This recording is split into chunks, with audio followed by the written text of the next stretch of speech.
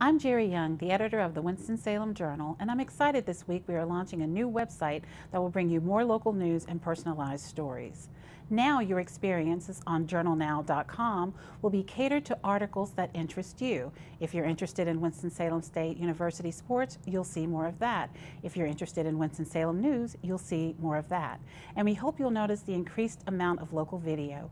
Our reporters are committed to helping you be part of the action and seeing breaking news unfold live. Take advantage of this by signing up for our newsletters and subscribing today. Please scroll, watch, and read your way through our new site and let us know what you think. Thank you.